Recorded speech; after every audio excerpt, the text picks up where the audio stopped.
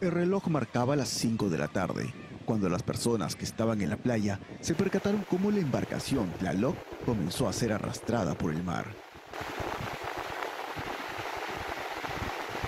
La nave permanecía anclada desde 2010, cuando el Departamento Antidrogas de la Policía Nacional, en coordinación con la DEA, requisó el buque atonero, que transportaba 3 toneladas de cocaína y era usado como fachada del cártel de Sinaloa, cuyo cabecilla era Joaquín El Chapo Guzmán.